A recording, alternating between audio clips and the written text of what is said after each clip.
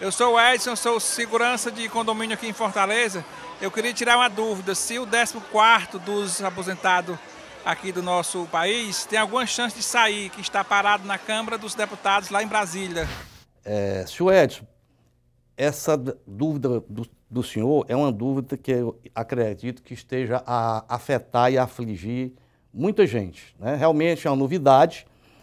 Tramita no Congresso Nacional, mais precisamente na Câmara dos Deputados, um projeto de lei que leva o número 4367, que é do ano de 2020, que realmente instituiu ou tenta instituir um abono anual a que está se dando o nome de 14º salário.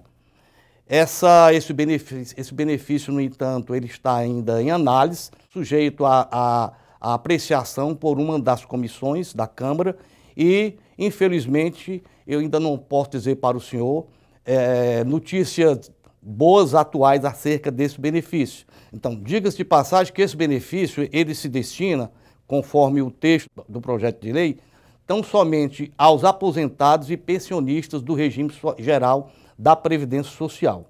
De forma que não é um benefício é, previsto em CLT e não é um benefício também que está em vigência, posto que ainda pendente de apreciação de tramitação na Câmara dos Deputados.